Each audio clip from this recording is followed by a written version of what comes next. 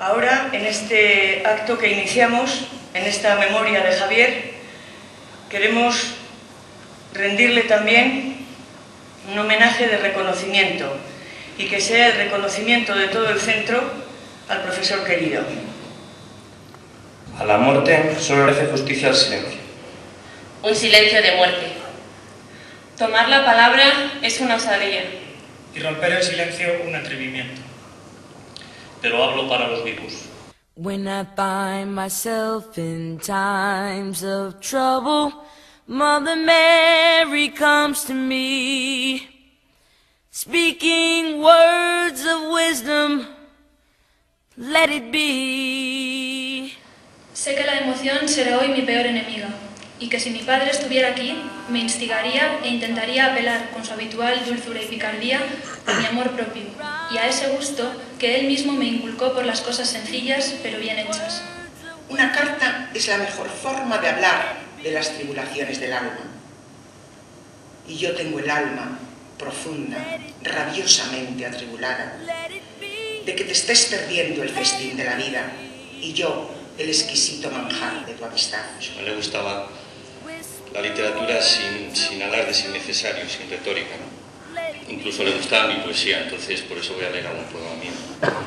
He, he, leído mi poesía de cabo a rabo, echándole un valor increíble, ¿no? concienzudamente, en profundidad, como hacía todo en la vida. ¿no? Nosotros echaremos de menos al verte venir, tu maleta, entrases en clase con esa sonrisa picarona que siempre te acompañaba y oírte decir, buenos días, muchachos, as. Esto nunca volverá a ser igual. Que nunca el dedo que señala, ni el ojo que intimida, ni la hipocresía que acusa, te perturbe, te corte el paso. ¿Murió? Solo sabemos que se nos fue por una senda clara, diciéndonos, hacedme un duelo de labores y esperanzas. No entendemos por qué la hoja caída no vuelve al árbol, ni por qué nos arrebatan las cosas que más queremos. Javier fue el mejor amigo del coro, espectador asiduo y en ocasiones colaborador en nuestros conciertos. Siempre estuvo dispuesto y resuelto a la hora de allanarnos el camino. Porque ni su gran timidez podía esconder del todo una personalidad tan desbordante.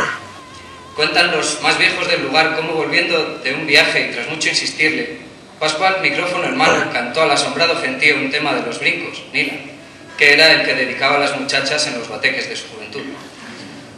Agradecerle también que en estos momentos de duelo sea precisamente acordarnos de su bondad, su energía, su capacidad de entrega, su ingenio y su gran sentido del humor, lo que nos vuelva a traer una pequeña sonrisa y un poquito de consuelo.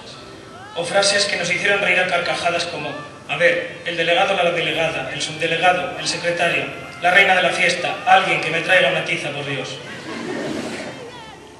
A las aladas almas de las rosas, el almendro de nata te requiero, que tenemos que hablar de muchas cosas, compañero del alma, compañero.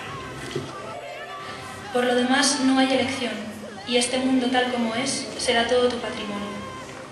Perdóname, no sé decirte nada más, pero tú comprende que yo aún estoy en el camino. Y siempre, siempre, acuérdate de lo que un día yo escribí pensando en ti como ahora pienso.